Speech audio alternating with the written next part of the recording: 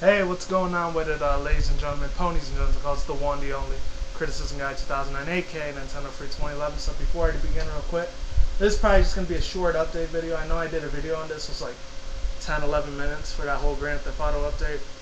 Happened about three months ago by now, but um, I know the official day is going to be on everyone by now. They already know that the official date will be on September 17th. So uh, yeah, without further ado, let's begin. So uh, Grand Theft Auto 5, the only two good, brand new um, good news is that number one, I think I already said this before, is going to be a giant bundle pack. I think collector's edition with a physical copy of the of the game. That's number one. I only put five pictures on here, so it's going to be short, relatively short, obviously. That's that. There goes the bundle pack right there. It looks pretty sick as shit, if I do say so myself. And then uh, number two is that it's actually available on um, PS3, um, the home store. If any of you guys don't know about that, definitely check that out. I think it's over there for the, for a DLC. It's going to be $59.99, which is going to be 60 bucks plus tax. I guess it's pretty pricey. I mean, if you're going to be getting it on Steam, it's probably going to be the exact same price. You know, Steam they usually got a good, a lot of good ass deals on PC games, like I don't know, 20 or 30 bucks. A lot more reasonable because the highest I would probably spend on Steam is probably like around 40 bucks. I don't know. That's just me though.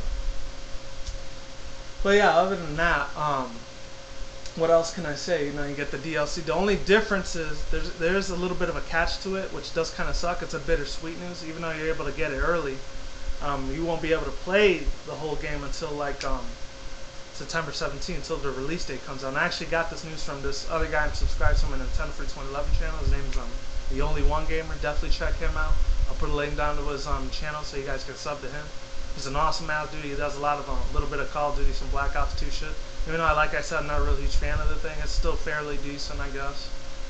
And um, yeah, that's basically all I had to say on that. So it is a little weird how PS3 is doing this. They're like modifying this whole little um, scenario that's going on. But you know what?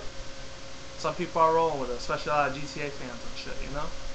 But uh, yeah, I'm probably just going to wait until all the hype dies down for in about a month or two, around, say, December, January next year, and then I'll probably get the game. So yeah.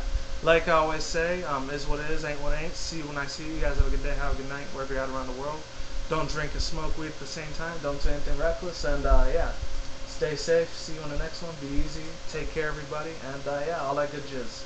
I am out. See you soon. And uh, yeah, thanks for watching and goodbye. Peace the hell out. I'm out.